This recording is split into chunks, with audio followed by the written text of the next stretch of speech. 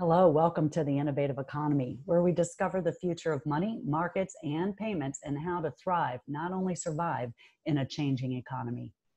So, today we're going to look at what is a credit score.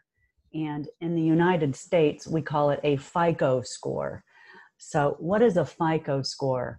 A FICO score is a credit risk score. So, if you're a good credit risk, um, you'll have a good credit score. And so, what's FICO? FICO is the name uh, short for the name of the company, Fair Isaac Company, which was established in 1956. But the banks didn't start using the FICO score until the 1980s in order for somebody to get a loan. So it's a bit backward thinking. So I want you, if you don't have a credit score yet, all right, and chances are if you're 18 and under, you don't have a credit score. If you don't have a credit card and you never got a loan, you don't have a credit score. And guess what? Banks will not lend to you unless you have a credit score. So, how do you get a credit score? Well, you have to borrow money. so, how can you borrow money if you don't have a credit score? Uh, well, let's look at that first. How can you borrow money to establish a credit score? You can go to a couple different banking, online banking institutions uh, one of them that's very good is Capital One, where you can apply for a secured credit card. And uh, let's say somebody who's uh, 17, 18, 19, 20 is just starting out and they want to get credit, a credit score, can actually start with a secured credit card with a low limit balance of, let's say, 200 or $250. So that's a good way to start. And then, how do you get the score? So once you have that prepaid credit card, uh, that's the very beginning. Now use it. Okay, use it to go get uh, something at the store, toilet paper, gallon of milk. Okay, but use only 10% of that credit card. And again, this is with any credit card. If you keep your balances 10% or under of what your total credit line is, that will continue to increase your credit score. So if you have a credit card that has a, a credit limit of, let's say, $2,500, then you can actually charge up to $250, 10% of that credit limit, and continue to make payments on that and keep it under 10%. Now, as you make payments on that, you're going to see your credit score increase. And why does your credit score increase? Because you are borrowing money off your credit card.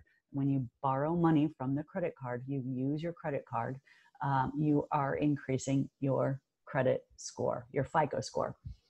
So, in order to get a loan for a new home or a car, you need a credit score. And right now, to purchase a property, uh, it's a requirement of your credit score being 650, 650 or higher.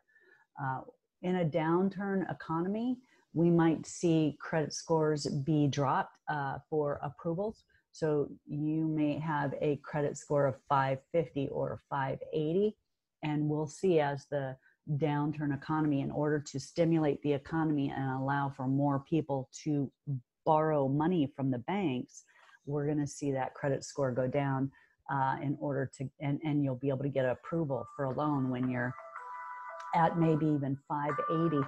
So the higher your credit score, the more money that the bank will loan you, or the better interest rate you will receive from the loan. Okay. The FICO score, the Fair Isaac scoring system, ranges at a low 350 and a high 850. So if you have an 850 credit score, you'll get the best interest rate the bank will offer. That's called a prime rate. You'll receive the best interest rate that a bank will offer for a loan. Okay, so um, as we see uh, an economy where people are not going to the bank and borrowing money, then lenders will open it up and accept a lower credit score for loans. Uh, so as I was saying, now today um, you can get a loan all the way down to 650 uh, credit score, and as the economy worsens, you'll see lenders start to open it up, borrowing opportunities for credit scores as low as maybe 580 or even down to 550. We'll we'll wait and see.